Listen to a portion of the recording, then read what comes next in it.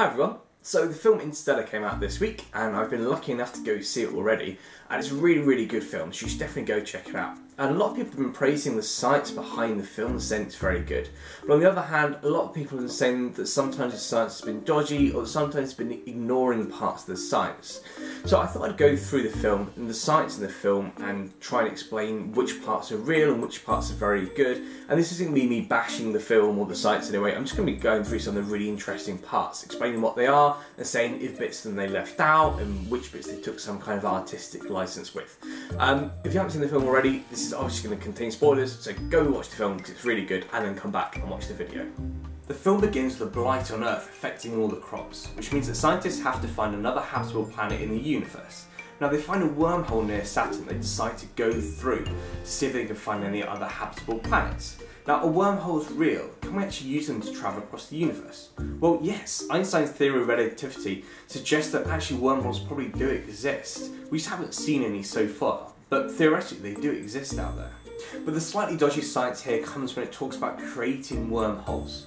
Now in the film, a future advanced civilization creates a wormhole which allows them to travel a specific point in space. But at the moment, with our technology, we can't create a wormhole. There's a very dense area of space, and we just can't do this, let alone one that takes you a very specific part of the universe. But this is described as being created by an advanced civilization, so who knows what will happen in the future. Perhaps we will be able to create wormholes. Now after going through the wormhole, the crew arrives at a planetary system with a supermassive black hole in it. This is a very large area of space and a black hole is something that nothing can escape from, not even light, hence why it's called black hole. There are three planets in the system.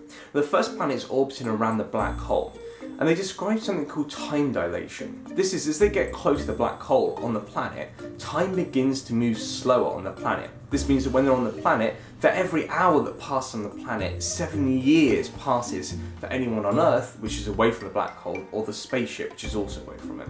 And this is real, this happens in real life. And we've actually seen this when we've taken clocks up into space and taken them at very fast speeds or near very large masses. So time dilation is real, and it's really, really good that they actually put this into the film. However, being this close to the black hole also has some really negative effects. The large gravitational pull from the large master black hole creates some incredible tidal effects on anything near it, such as the planet, the spaceship and the astronauts. And this would just act to tear them apart, to rip them into small pieces. And this would happen in reality, everything would just be torn apart that gets too close to it. And you can see how strong these gravitational forces are by the giant waves on the planet. Now this isn't just a, a, visual effect, this is actually what really happened. The giant tidal waves would happen on the planet because all the oceans on the planet would be drawn towards the black hole. And this is just what happens here on Earth. We have the waves and the tides because of the moon pulling it. So the time dilation stuff in the film is really, really good, but unfortunately all the planet and the astronauts would just be torn apart before they got too close. Finally, our lead man and our hero falls into a black hole. And he's surprised as he does this that he isn't torn and ripped apart by the gravitational tidal forces from the black hole, or he isn't killed by the radiation on the inside. Instead, he finds himself in some strange dimension where he can control time and he can move through time. But his surprise is also our surprise, because we know that the gravitational pull of the black hole is so strong that he would be ripped and torn apart. Something called spaghettification, he's literally stretched into a long stream of particles like a piece of spaghetti. However, the problem with getting so close to a black hole, especially this one which has a load of bright gas around the outside, is the incredible heat and radiation coming off of this gas. Now the gas is obviously extremely bright, you can see this in the film, it's an incredibly bright white light coming from this gas, that's because it's so hot.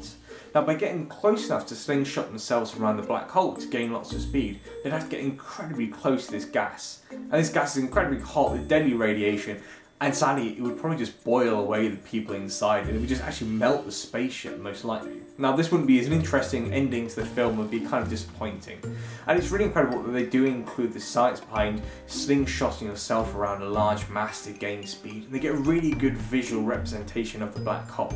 So perhaps we can let them off the idea that the astronauts probably would have melted long before this point, because it really is an incredible bit in the movie. But the definition of a black hole means that nothing can escape. It's called black hole because not even light can escape it. Now the idea is that information cannot escape the black hole. This means light, you, anything, nothing can escape from it.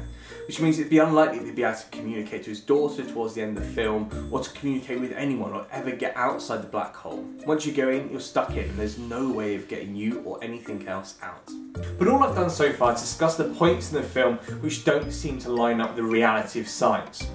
But also there's some incredible parts of the film that really are very scientific. For example, the spaceship in the film is described as being rotating, and we see it rotating around, and this creates artificial gravity. And this is real, this is reality. If you were to do this and have a space station that could rotate around, there'd be an artificial gravity pushing people towards the outside part of the inside of the spaceship, and they would feel as if they were down here on Earth with normal gravity. This is a really incredible thing, they include this in the film, and they did it very accurately as well. The visual appearance of the black hole is also incredibly well done. Now actually there were lots of computer simulations and work done to try and see what a black hole and a wormhole would actually look like for you to see them. And there are lots of simulations run that took many, many hours to come up with. And so actually what you see the black hole and the wormhole looking like in the film are actually what they may look like in reality. So this is really good that they really went to this level of detail to try and show what these things will look like. So in conclusion, some of the science is a little bit dodgy and some of it's been missed out. But overall the science is very, very good. And they've just taken some artistic license on some of it to make it more interesting film. And it works. It's a really, really great film and visually fantastic. So it's worth going to check out.